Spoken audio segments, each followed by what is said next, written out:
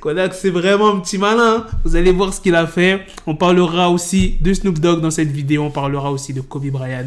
Donc, sans plus tarder, Let's go pour les news. Pour ceux qui veulent avoir des bijoux, chaînes, montres, bracelets, il y a le site We Are Chain Nation où tu trouveras ce qu'il te faut. Et en plus de ça, j'ai un code promo pour vous les gars de 30%. Regarde-moi cette belle chaîne. Tu fais commander, tu fais saisir le code promo et voilà, t'as ta petite réduction. Tu pourras tranquillement flex. Est-ce que vous vous rappelez quand Kodak Black avait fait la promesse de donner 1 million de dollars à des œuvres de charité s'il sortait de prison? Là, Kodak Black, il est sorti. Ils sont où les 1 million pour les œuvres de charité Non, les gars, non, il n'a pas sorti les RM. Et en plus, vous savez ce qu'il a fait? Il a supprimé le tweet. Je vous ai retrouvé le tweet de Kodak. Il avait dit Si le président me libère, je vais donner 1 million pour des œuvres de charité durant ma première année de liberté. Un point, c'est tout. Il y a son avocat, Bradford Cohen, qui s'est exprimé aux médias TMZ. Il dit Cette déclaration promettait quelque chose contre autre chose en échange. Il nous a semblé que ce n'était pas approprié, surtout que Kodak a toujours donné à des œuvres caritatives durant toute sa carrière et continuera à le faire, mais pas en échange de quelque chose. Certains pensent que c'est une histoire, ce n'est pas le cas. Au lieu de parler d'un jeune noir et de ce qu'il fait en termes de charité, pourquoi ne pas jeter un coup d'œil sur ce que font les auteurs de ces articles? Ouais, ça parle chinois là, hein? Ils sont où les 1 million C'est quoi cette réponse? Ah, je suis mort. En même temps, un million, c'est énorme. Hein. Mais c'est vrai que son avocat a raison sur une chose. Kodak Black, il a toujours fait des dons. Il a toujours donné aux habitants de sa ville et il l'a fait à de nombreuses reprises. La dernière fois qu'il a donné, c'était pour Thanksgiving. Tu vois, ça fait pas très longtemps. Enfin bref, maintenant passons à la deuxième news sur Snoop Dogg. Snoop Dogg a été invité par Fatman Scoop lors d'un live Instagram et il a expliqué pourquoi il n'écrivait plus sur la mort. Ne vous inquiétez pas, je vais vous expliquer en détail, vous allez tout comprendre. Alors Snoop Dogg, il dit, un jour, moi et mon cousin Daz allions au studio. Et j'avais un titre en tête, Dave, qui veut dire Dave After Visualizing Eternity. En français, ça veut dire la mort après avoir visualisé l'éternité. Je continue.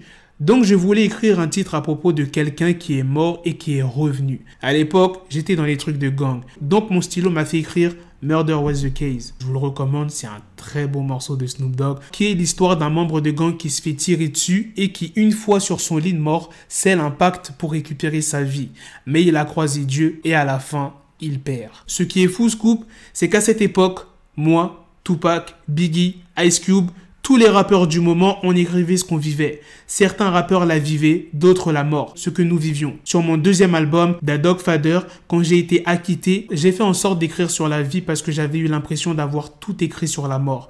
Quand j'ai commencé à travailler sur Da Dog Father, j'avais perdu des fans, des potes, parce qu'ils voulaient que je reste gangsta. Ils voulaient que je glorifie tout ça, mais j'étais genre, quelqu'un a perdu la vie, ma vie a changé. C'était la petite news sur Snoop Dogg. Maintenant, on va passer à la dernière sur Kobe Bryant. Ça fait à peu près un an qu'il est décédé.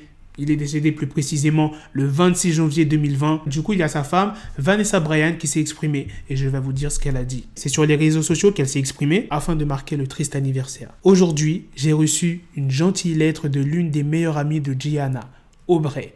Merci d'avoir partagé quelques-uns de tes souvenirs avec ma Gigi et de me permettre de les partager sur mon Instagram. Ma Gigi est incroyable et j'apprécie sincèrement ta lettre. Elle t'aime tellement.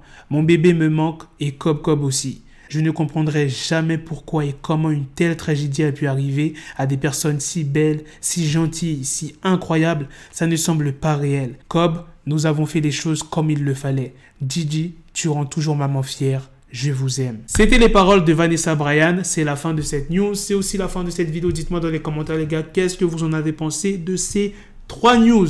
La news principale sur Kodak Black qui m'a bien fait rire. La deuxième news sur Snoop Dogg que j'ai trouvé très intéressante. Et la dernière sur les paroles de Vanessa Bryan. Sur ce, on se donne rendez-vous très prochainement les gars pour d'autres vidéos news. Prenez soin de vous la famille.